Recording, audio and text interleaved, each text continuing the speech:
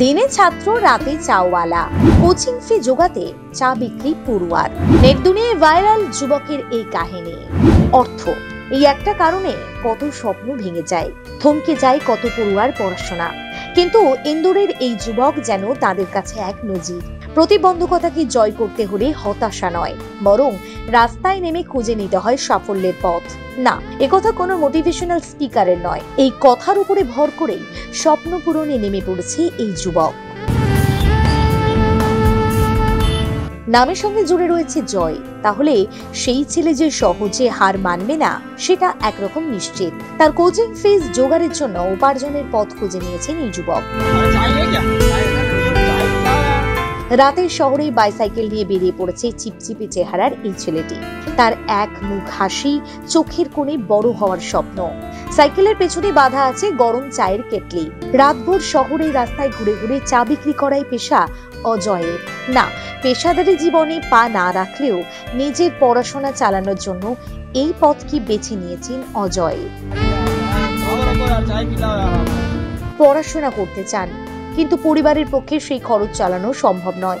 কিন্তু তা বলে পড়াশোনার পাঠ একেবারেই চুকিয়ে দেননি যুবক। নিজের মতো করে ময়দানে নেমে পড়েছেন।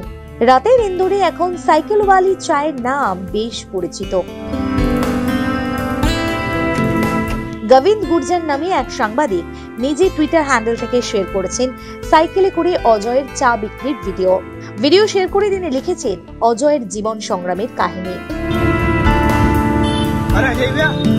ইন্দোরে গেলে দেখা মিলবে সাইকেলে করে চা বিক্রি করা এই অজয়কে। চা বিক্রি করেই নিজের টিউশন ফি জোগাড় করেন আদিবাসী এই যুবক। অজয়ের লড়াইকে কুর্নিশ জানিয়েছে নেট দুনিয়া।